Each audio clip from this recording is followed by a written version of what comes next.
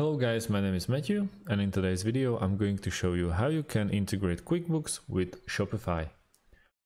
First things first, we have to create ourselves an account at QuickBooks or login to our current account.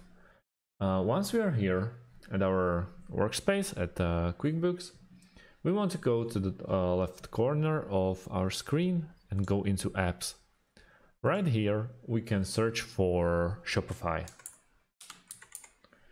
So you can see it's Shopify but OneSaas. We can click there.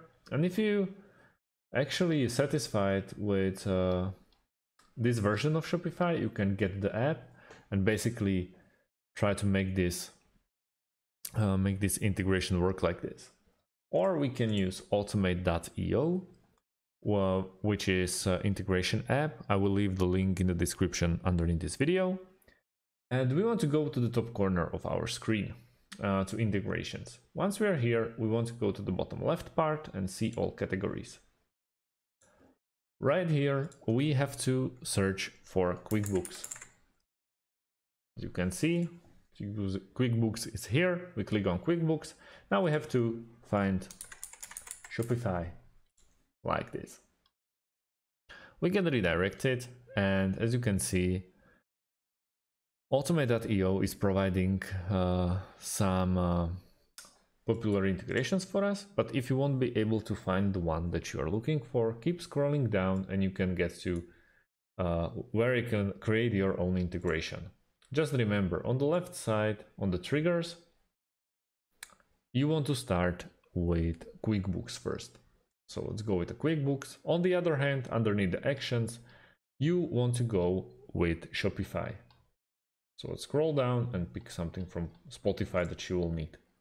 Um, Shopify, sorry, not Spotify. Now we have to hit try it now button. We can redirect it.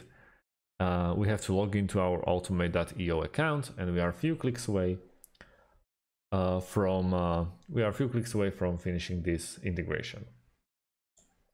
On Zapier.com, uh, we also need to create ourselves an account once we do that, let's go to the le uh, top left side and click on create ZAP.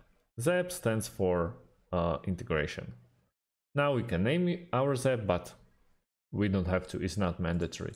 But same as at uh, Automate, we are starting with a trigger app, which will be QuickBooks. Trigger event, let's go with, for example, new account. Let's stick with the first options. Now we have to log into the account that we created couple of minutes ago.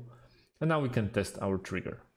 On the second action, uh, let's go and as you probably thought, let's go with Shopify, create products, for example, continue. And the last thing is we have to sign in to Shopify to make this integration work. And that's about it.